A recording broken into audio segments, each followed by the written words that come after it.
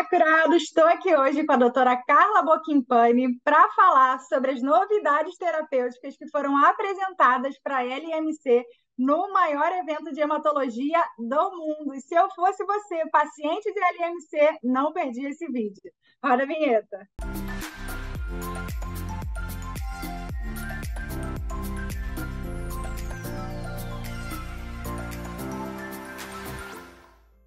Doutora Carla, muito obrigada pela sua participação aqui na TV Abrale. Estamos no mês de fevereiro laranja, mês de conscientização sobre as leucemias. Então, hoje a gente vai fechar a série sobre as novidades que foram apresentadas no Oeste, o maior congresso de hematologia do mundo, que aconteceu em dezembro, agora de 22. E para começar a nossa entrevista, doutora, explica um pouco para a gente o que é e como acontece a leucemia mieloide crônica. Oi, Amanda, um prazer enorme. Muito obrigada pelo convite. É um prazer enorme estar conversando com você aqui, com todas as pessoas que acessam a televisão, a TV é, a Brale. Realmente é uma honra, um privilégio para mim. E principalmente falar sobre leucemia mieloide crônica, que é para mim um grande desafio, uma doença apaixonante. A grande verdade, a crônica, ela hoje é o protótipo, na verdade, é a precursora do tipo de patologia, de doença, que é a primeira, na verdade, doença que nós podemos fazer o tratamento com o que a gente chama de terapia alvo molecular. Como você perguntou, a leucemia mieloide crônica é um câncer, é uma doença que ocorre, na verdade, por uma é, troca de material genético entre dois cromossomas. A gente chama os cromossomas, eles são é, divididos em pares e existe uma troca de material genético entre o parzinho 9, o cromossoma 9 e o cromossoma 22. E quando uhum. existe essa troca, essa junção desses dois materiais genéticos, a gente, na verdade, dá o nome de cromossoma Filadélfia. Esse cromossoma Filadélfia, ele cria uma habilidade de levar a célula a se multiplicar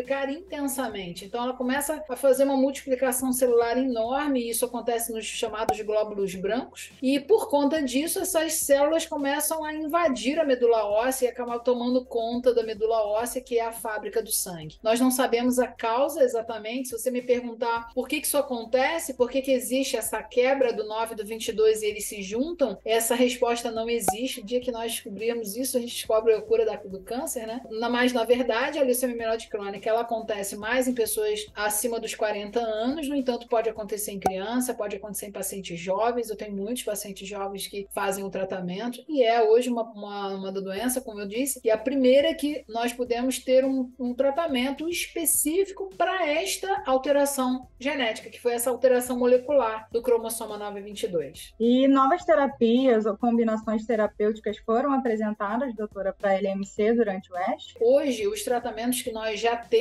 para a leucemia mieloide crônica, eles já são excelentes. São os chamados inibidores de tirosina quinase. Quando existe essa formação do cromossoma Filadélfia, o cromossoma Filadélfia ativa esta enzima, que se chama tirosina quinase, e como eu falei, ela manda as células multiplicarem. Esses medicamentos que nós temos hoje já são extremamente potentes, já, já tem a possibilidade de tratar essa doença no alvo onde ela é formada, e isso faz com que haja realmente uma resposta muito boa. Mas ainda temos pacientes que não respondem tão bem assim. Então hoje nós já sabemos que, mesmo que nós usemos em primeira linha é, alguns inibidores de tirosina quinase, Metade desses pacientes podem falhar ao tratamento e nós temos que usar uma segunda linha de tratamento. E ainda, em torno de 30%, 40% dos pacientes falham a esse segundo tratamento. Então, no ESH foi apresentado um medicamento novo, que é um medicamento que, na verdade, ele vem para agir num outro lugarzinho, né, num outro sítio de ligação, de uma forma muito potente. O nome desse medicamento chama-se Aciminib. E esse é um medicamento que ainda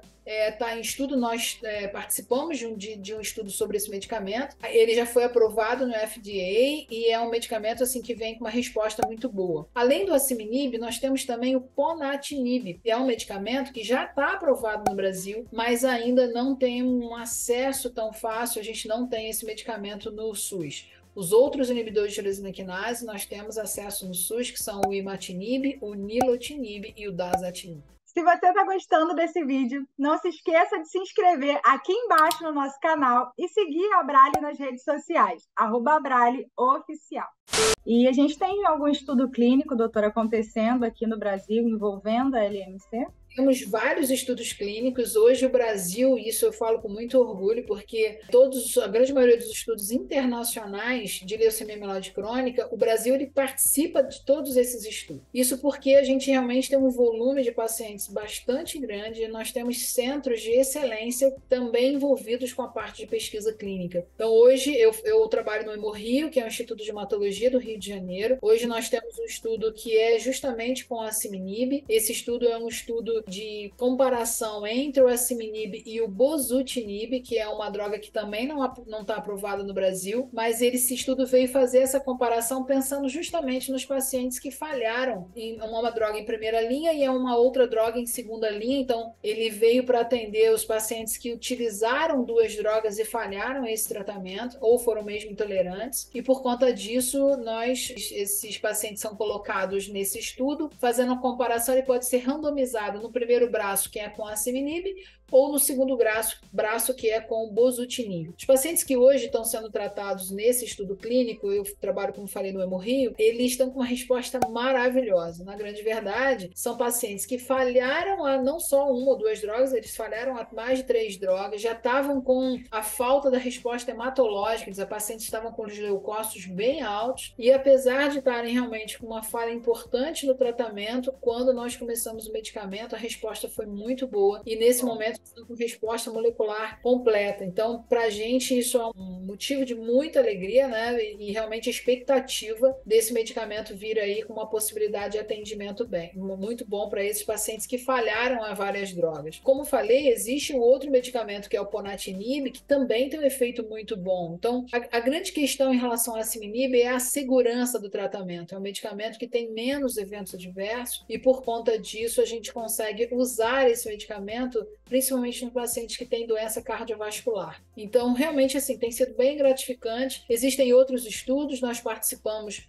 do estudo do uso do nilotinib em primeira linha, chamado NSND. Por isso que eu estou falando assim, os nossos pacientes podem ficar muito orgulhosos, porque o Brasil não, não, não perde, não deve nada ao restante do mundo do ponto de vista de pesquisa clínica, do ponto de vista de atendimento. E também a gente pode achar que no SUS nós temos menos acesso a medicamentos, não é uma verdade. Na grande, a grande questão é que no SUS a gente consegue também tratar muito bem os nossos pacientes e eles realmente têm acesso a medicamentos com muita potência e com uma resposta muito boa ao tratamento. Nossa, quanta notícia boa para a LMC, graças. Que coisa boa, doutora. E para a gente fechar aqui, queria que a senhora deixasse as suas considerações finais e aí, quais são as expectativas para o tratamento da LMC, porque a senhora já falou um pouquinho, mas só para a gente fazer o um encerramento da nossa conversa de hoje. Como consideração final, realmente é afirmar isso. A leucemia mieloide crônica, eu tenho um pouquinho de, de tempo de estrada, na grande verdade, a gente viu aí uma história né, se formar. A gente gente via que todos os pacientes com leucemia mieloide crônica, se não fossem submetidos a um transplante com sucesso, eles morreriam em menos de 10 anos. Era uma doença que era tratada com quimioterapia, então o paciente internava, caía cabelo, ficava passando mal e tinha uma resposta muito ruim ao tratamento. Com o advento desses medicamentos, que a gente chama então de terapia alvo molecular, isso mudou a história da doença, mudou a história do paciente. E recentemente tem um estudo clínico que mostra que aqueles pacientes que fazem uso do tratamento tratamento com esses inibidores de tirosina quinase e que apresentam uma resposta muito boa, eles têm o tempo de sobrevida exatamente igual a uma pessoa que não está doente. Então, isso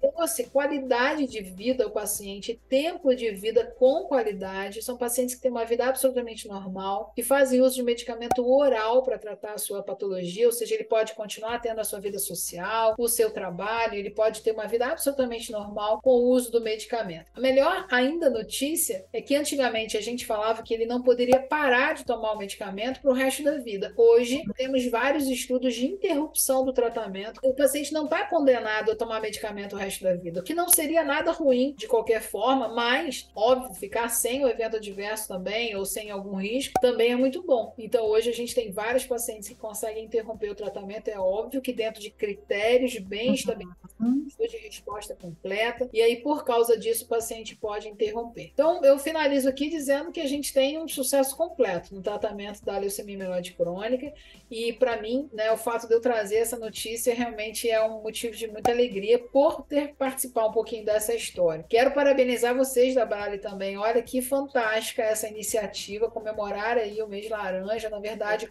informação. Isso é fundamental, né? A gente só consegue combater um inimigo que a gente conhece. Então a gente precisa ser bem informado. Eu parabenizo você aí de ter tido essa também essa possibilidade de a gente bater esse papo. Mais uma vez, conta com a gente. Estamos aí como comunidade científica completamente disponíveis para a gente lutar juntos contra o câncer. Nossa, eu estou encerrando esse vídeo com o coração quentinho, doutora. Quanta notícia boa a senhora trouxe para a gente hoje, principalmente para os pacientes de LMC. Você, paciente de LMC, que chegou até o final desse vídeo, com toda certeza você está saindo daqui com muita alegria, com o coração quentinho, tanto quanto o meu e o da doutora. Muito obrigada, doutora, pela disponibilidade, pelas boas notícias. Muito obrigada a você que assistiu aqui a nossa conversa até o final. Como eu sempre digo para vocês, as situações mais difíceis das nossas vidas, elas podem nos curar. Doutor, um grande beijo e até a próxima. Beijo para todo mundo que está nos assistindo.